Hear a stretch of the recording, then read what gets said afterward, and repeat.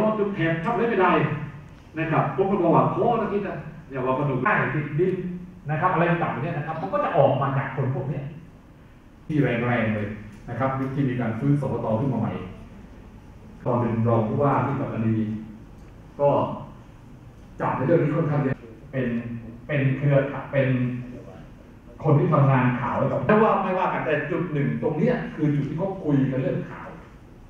ถ้าเราจะเรื่องของข่าวก็อยากให้เน้นคนข้างนอก ให้เยอะๆมันจะเกิดเลยคือใครทราบไหมนะครับ เพราะว่าหนึ่งแม่ค้าในตลาดมีโอกาสฟังอะไรต่างๆเยอะแยะมากมายผมรับรองว่าเขารู้จักหมดนะครับว่าคนคุกคลีเล่นกันอยู่ตาทั้งสองแห่งนะครับเพราะคนเหล่านี้จะเป็นแหล่งข่าวที่ดีของเรา